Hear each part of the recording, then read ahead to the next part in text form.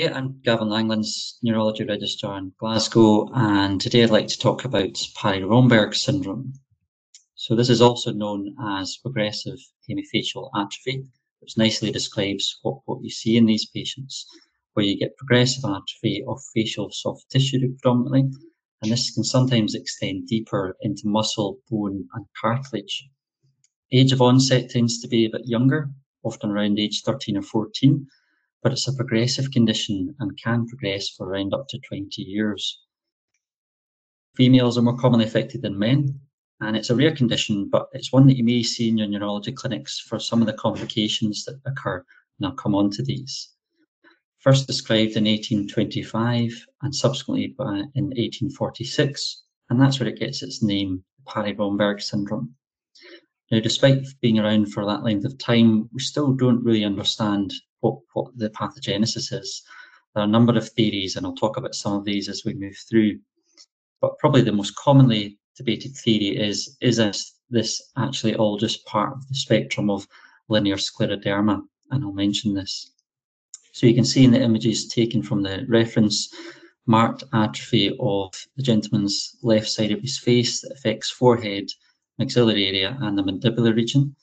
You can see it affects the eye, it also affects the tongue with atrophy of one side of the tongue and also deviates on certain bony structures there.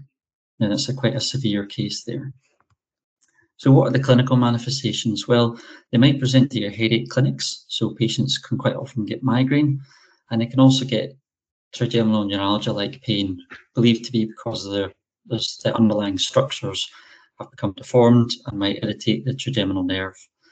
They might present to your epilepsy clinics and they can get really quite troublesome focal seizures that are difficult to treat. They can affect a number of your cranial nerves, affect the facial sensation and the motor power to the left side, the one side of the face. But there's also extraocular involvement that's reported. So it can affect your vision.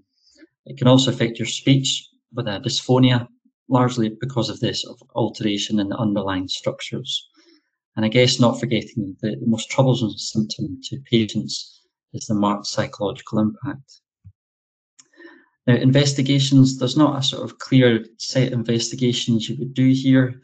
There's not been a sort of consistently linked infection or antibody really, but you often see changes in MRI brain imaging, particularly having had the condition for many years in some cases. The changes you might see would be on T2, and you can get white matter, subcortical hyperintensities, sometimes atrophy, sometimes calcification. And usually the brain imaging findings are ipsilateral to the clinically affected site. You can see from the images from the reference, the lady in the image is in her early 60s and she's had the condition for many decades and has quite marked T2 subcortical white matter hyperintensities on the, in the axial images there. But that would be a more severe case and it can be more subtle than this. So what are the differentials to think about? Well, I think top of the list, and is it actually all part of the same disease spectrum, is linear scleroderma or linear morphea or linear morphea en coup de sabre, all really referring to the same sort of condition. The, the en coup de sabre referencing the, through the stroke of a sword, which really describes the linear marked delineation that you can see in patients' foreheads that separates atrophic tissue and normal tissue. Now, there are overlapping clinical and pathological features in linear scleroderma and Parry-Romberg syndrome, but probably the few distinguishing features that you might see would be in linear scleroderma, you tend to just get involvement of the forehead and the scalp rather than the whole side of the face. And also in linear scleroderma, you tend to get thickened, indurated skin, which isn't really seen in progressive hemifacial atrophy and you're less commonly going to get mucosal involvement or ocular involvement in linear scleroderma.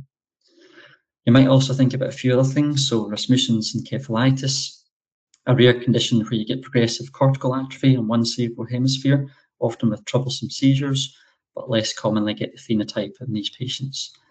And you might also think about partial lipodystrophies or a congenital, a congenital problem that might affect underlying bony structures from birth. What are the management options? Often these are cosmetic and surgical, and sadly, because it's a progressive condition, often patients need repeated surgical procedures. Not forgetting the psychological support that they need.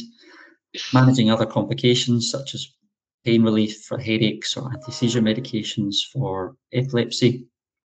And the etiology remains unclear, probably the most commonly used medication in some cases are those medications that are used also in linear scleroderma. So high dose corticosteroids, daily high dose PRED or pulsed IV methylpred, in addition to a steroid sparing agent, usually methotrexate, and then over time that is reported in some cases to believe to stop the progression.